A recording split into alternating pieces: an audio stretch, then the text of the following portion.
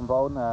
ខ្ញុំថ្ងៃនេះខ្ញុំនឹងមានវីដេអូតាក់ទងទៅនឹងខេត្តតែធម្មសុខភាពបងប្អូនអស់វាល្អប្រសើរហើយមិនចាំបាច់ប្រើថ្នាំពេទ្យហើយបងប្អូនគ្រាន់តែប្រើវិធីសាស្ត្របែបដែលខ្ញុំនិយាយនេះបងប្អូននឹងបាននឹងមានសុខភាពល្អបាទប្រសើរបាទហើយបងប្អូនហូបបន្លែបន្លែណាដែលល្អហើយបងប្អូនព្យាយាមហាត់ប្រាណបាទហូបកុំឲ្យហូបច្រើនពេកបាទចឹងវីដេអូនេះមាននៅក្នុងហ្នឹងហើយក្បួននៃការថែទាំសុខភាពឲ្យល្អប្រសើរបាទហើយរដូវនេះរដូវរំហើយចឹងបងប្អូនទស្សនាវីដេអូនេះបានចប់ទាំងអស់គ្នាណាបង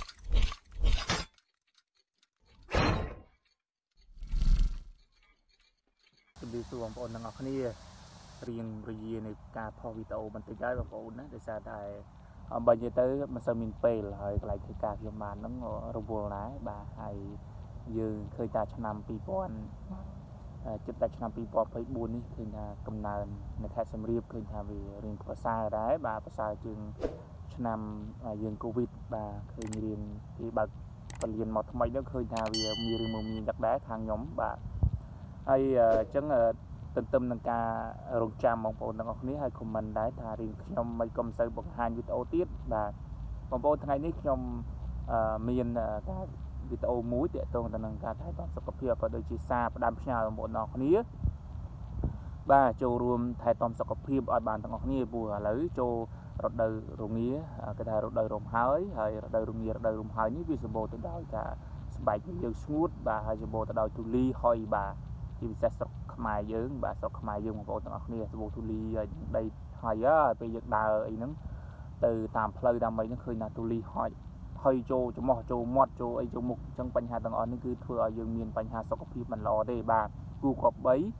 អឺយើងពាក់ម៉ាស់ទាំងអស់គ្នាណាពាក់ម៉ាស់បងប្អូនបងប្អូនគិតថាមិនអីមិនអីប៉ុន្តែដល់ពេលយើងវ័យយើងជ្រេបន្តិចបន្តិចធ្វើឲ្យកោសិកាយើងខ្សោយបាទអញ្ចឹងស៊ូត មាននឹងមានបញ្ហាបាទបើកាលណាយើងមានទូលីមានអីចូលកតិចអីចូលក្នុងយើងអត់ដឹងទេប៉ុន្តែវាចូលម្ដងជ្រាបម្ដងទិញទិញវាចូលទៅក្នុងស៊ូតយើងហ្នឹងបាទវាធ្វើឲ្យស៊ូតយើងនឹងមានបញ្ហាដល់ពេលឈឺស្កាត់លមុលមុំអីដល់ពេលយើងទៅផលិតឃើញថាស៊ូតអឺជួមបាទក្រិនស៊ូតបាទលីកស៊ូតលីកអីចឹងដោយសារតែបញ្ហាយើងទូលីបាទហុយផ្សែងផងទូលីផងបាទ ហើយក្លិនមិនល្អក្លិនអាក្រក់វាជះមកអតិពលលើខ្លួនប្រាណរបស់យើងទៅធ្វើឲ្យយើងមានបញ្ហាសួតបាទអញ្ចឹងយើងគិតថាយើងមិនអីទេប៉ុន្តែបើយើងការពារប្រសើរជាការព្យាបាលណាបងប្អូនយើងការពារទាំងអស់គ្នាទៅហើយចូលរួមថែទាំនឹងឯសុខភាពព្រោះសុខភាពនេះវាជាសុខភាពក៏ថាវាជាទ្រព្យចម្បងរបស់យើងហើយបាទកាលណាយើងមានទ្រព្យយើងមានលុយប៉ុណ្ណាក៏ដោយ ឲ្យតែជំងឺមកហើយគឺយើងត្រូវតែចំណាយលុយបាទចំណាយលុយចូលទៅការព្យាបាលជាមួយពេទ្យមួយអីបាទអញ្ចឹងអឺយើងទាំងអស់គ្នាគឺចូលរួមថែទាំថែទាំសុខភាពទាំងអស់គ្នាឲ្យបានល្អប្រសើរណាបងប្អូនទំនើនោះគឺគឺបងប្អូនហូបចុកឲ្យគេថាឲ្យមានក្បួនបាទក្បួនតាមពេទ្យដែលគេបានប្រាប់ណែនាំពីសុខភាពបាទកាលណាយើងហូបឆ្ងាញ់ពេកហូបច្រើនពេកក៏ធ្វើឲ្យសុខភាពយើងមិនល្អដែរ គឺច្រើនតែធ្វើឲ្យបងប្អូនមានបញ្ហាអឺឡើងគីឡូធ្ងន់បាទឡើងគីឡូយូរយូរទៅវាទៅជាបញ្ហា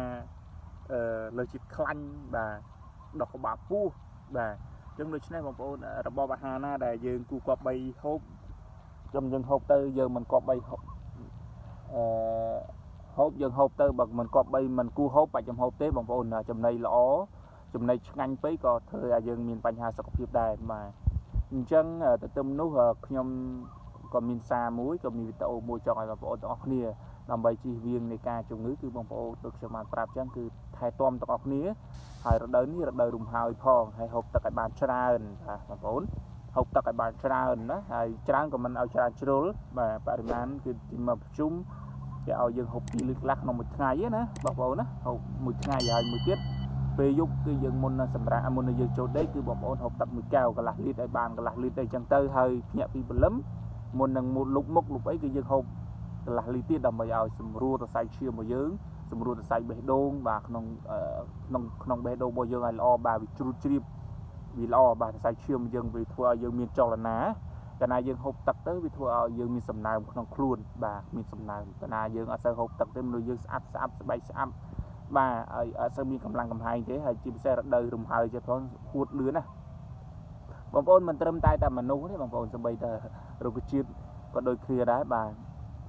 ក៏ត្រូវការទឹកដែររដូវនេះបាទស្ងួតហួតហែងហ្មងណាដីប្រេះក៏ហែងហ្មងបាទរដូវនេះគឺហួតលឿនណាស់បងប្អូនណាអញ្ចឹងចូលរួមហូបទឹកដូចខ្ញុំបានប្រាប់អញ្ចឹងពេលថ្ងៃបងប្អូនហូបឲ្យបាន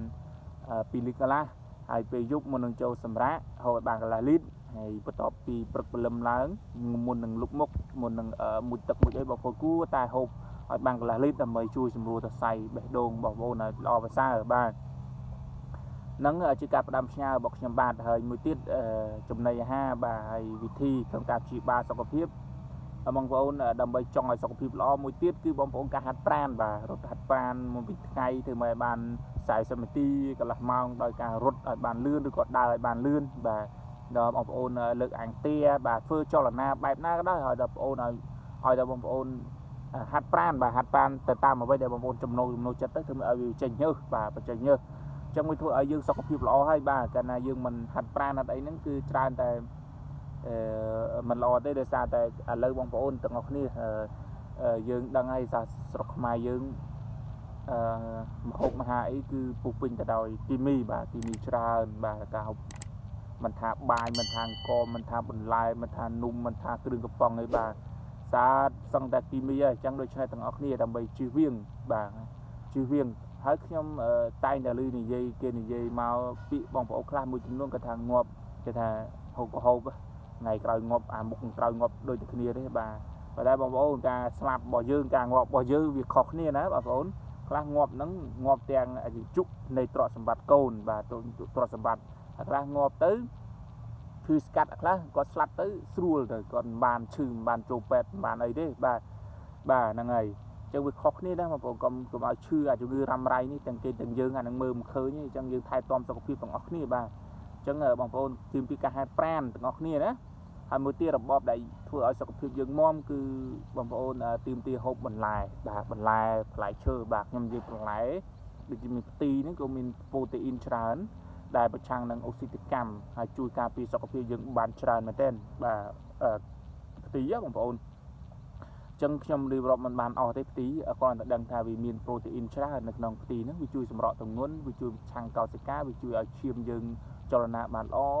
កាត់បន្ថយកូលេស្តេរ៉ុលខ្លាញ់អាក្រក់នៅក្នុងខ្លួនប្រាណនៅក្នុងសរសៃឈាមរបស់យើងបាទជួយការពារសម្ពាធឈាមបាទយើងហូបស្លឹកវាហូបបន្លែឬក៏ហូបរឹ សរបស់វារបស់ផ្ទីណាបងប្អូនជួយបានច្រើនហើយបន្លែជាច្រើនទៀតរនោងអីហ្នឹងបាទជួយឲ្យតែឲ្យតែរបស់ណាស៊ីនស៊ីនបងបងប្អូនល្អប្រសើរណាស់បាទរបស់ណាដែល original មិនមានគីមីគឺល្អមែនតើបងប្អូនយើងហូបទៅហើយហូបបន្លែធ្វើមើលឲ្យបានបន្លែខៀវបន្លែបៃតងបាទហើយមួយទៀតផ្លែឈើបងប្អូនណាផ្លែឈើបងប្អូនគួរទៅផ្លែក្រូចពោធិ៍សាត់បាទក្រូចពោធិ៍សាត់ហើយផ្លែប៉ោមប៉ោមខៀវប៉ោមអីហ្នឹងបាទបាន ល្អទីបើបានមិនមែនគីមីណាបងប្អូនកាន់តែល្អពិសេសបាទហ្នឹងហើយអញ្ចឹងវាវាមានចំណុចល្អច្រើននៅក្នុងដែលខ្ញុំបាននិយាយថ្ងៃនេះគឺបងប្អូនចង់ឲ្យបានសុខភាពល្អបាទហើយមិនបាច់បងប្អូនឈឺហើយបងប្អូនរោទេបាទបងប្អូនទន្ទឹមនៅយើងដែលយើងកំពុងតែមានដែលមានកម្លាំងកំហែងដែលមិនមានជំងឺបងប្អូនទៅធ្វើបែបហ្នឹងបាទបើយើងក៏លេខទៅមើលចាស់ចាស់បុរាណណាចាស់ចាស់បុរាណដូចខ្ញុំជាអ្នកសុកស្រែ ខ្ញុំច្រើនតែឃើញបងប្អូនរបស់ខ្ញុំហ្នឹងបងពុករបស់ខ្ញុំគាត់អាយុវែងហ្នឹងដោយសារតែយើងមើលជុំវិញនៃផ្ទះរបស់គាត់ហ្នឹងគាត់ដាំចេកដាំបន្លែគ្រប់មុខបុរាណបុរាណដឹងហើយតារបងហ្នឹងសិតតែសិតតែបន្លែយើងផ្ទីដោះដោយខ្លួនឯងតាមតាមតាមផ្ទះតាមអីហ្នឹងបាទអញ្ចឹងទៅហូបទៅដូចគ្មានគីមីតាទេសម័យមុនបាទវាអត់សូវមានគីមីណាជីសជីអីប្រើដូចសម័យនេះទេបាទឥឡូវហូរហូរឡើងហូរមកដល់ស្រុកជើងនេះ ពុះពេញទៅដោយគីមីបាទសូម្បីតែបងប្អូនដាក់ស្រូវស្រែហ្នឹងក៏ភាគច្រើនប្រើគីមីច្រើនដែរបាទបងប្អូនហូបទាំងអស់ហ្នឹងវាជួយឲ្យសុខភាពយើងល្អបាទយើងយើងដាំបន្លែខ្លួនឯងយើងដឹងថាបន្លែនេះមិនគីគីមីមិនគីមីយើងដឹងណាបាទហើយកាលណាហូបបន្លែបៃតងបែបបែបហ្នឹងគឺជួយសុខភាពយើងប្រៀបបានទៅនឹងឱសថប្រៀបបានទៅតាមឆ្នាំពេទ្យបាទរបៀបយើងមិនបាច់ទៅចាក់ថ្នាំចាក់អីណាច្រើនហូរហៀទេបាទយើងហូបតែពូហ្នឹងក៏ជួយសុខភាពដែរហើយបុរាណបុរាណ គាត់ច្រើនតែបែបហ្នឹងឯងដូចខ្ញុំបានជម្រាបប្រាប់អញ្ចឹងគឺយើងធ្វើម៉េចថែទាំសុខភាពយើងដោយក្បួនបែបហ្នឹងបាទណាការហាត់ប្រាណបាទការទទួលទានដោយឲ្យមានរបៀបរបបការហូបបាទកុំហូបរបស់ឆ្ងាញ់ពេកហើយហូបកុំឲ្យហូបច្រើនដល់ឆ្អល់ពោះពេកបាទហូបល្មមល្មមបាទហហើយអ្វីដែលខ្ញុំបាននិយាយនេះគឺចំណុចត្រួសត្រួសទេបងប្អូនវាមានច្រើនទៀតវាមានរុក្ខជាតិខ្លះដែលត្រូវជាអសត់ត្រូវថ្នាំណាដូច ខ្ញុំវីដេអូខ្ញុំមានច្រើនណាដែលខ្ញុំបានរៀបរាប់ប្រាប់បងប្អូនណាហ្នឹងហើយអញ្ចឹងបងប្អូនមើលទាំងអស់គ្នាទៅហើយខ្ញុំមានសារប៉ុណ្ណេះទេបងប្អូនឆ្លៀតបាទខ្ញុំនៅក្រោមដើមឈើនៅកន្លែងធ្វើការទៅក៏ឆ្លៀតចេញវីដេអូទៅខ្លះទៅដើម្បីជាការឲ្យបងប្អូនខ្លាត់ភ្លេចមុខហើយបងប្អូនភ្លេចមុខតែអញ្ចឹងទេភ្លេចមុខខ្ញុំបាទហើយបាទហ្នឹងហើយហើយមួយទៀតវីដេអូខ្ញុំបាទតែតែនិយមពីអសតក្នុងខ្មែរបុរាណហើយដើមឈើខ្លះក៏វាមានសម្បីតែនៅក្បែរក្បែរខ្ញុំគឺដើមសាជីអសតបាទដើម ដាប់គោដើមអឺកលាញ់ដើមអីហ្នឹងដែលយើងស៊ីផ្លែបាទហើយមានមានដើមមដូពេជ្រមដូអីហ្នឹងបងប្អូនណាសិតតែជាឆ្នាំអញ្ចឹងខ្ញុំបាទមានតែវីដេអូប៉ុណ្្នឹងទេដើម្បីឲ្យបងប្អូនអឺคลิกកុំឲ្យคลิกមុខខ្ញុំបាទហើយអរគុណសម្រាប់ការតាមដានហើយពីមកកន្លងមកហើយមួយទៀតអឺ បងប្អូនជួយផ្ដាំផ្ញើសារទាំងអស់នេះដើម្បីឲ្យបងប្អូនទាំងអស់គ្នារដូវនេះគឺរដូវនំហើយហើយដូចខ្ញុំបានជម្រាបដើរវីដេអូអញ្ចឹងបាទហើយជួយជំនួយខ្ញុំបាទនៅវីដេអូក្រោយទៀតហើយមួយទៀតបើសិនជាខ្ញុំនិយាយទៅមិនច្បាស់មិនលឺសូមបងប្អូនខន្តីអភ័យទោសដោយសារតែនិយាយបាទដល់គ្មានមីក្រូហ្វូនបាទឲ្យមួយទៀតកាន់ដៃផងទូរស័ព្ទរីស្ពឹកបាទយើងប្រើទូរស័ព្ទហើយមួយទៀត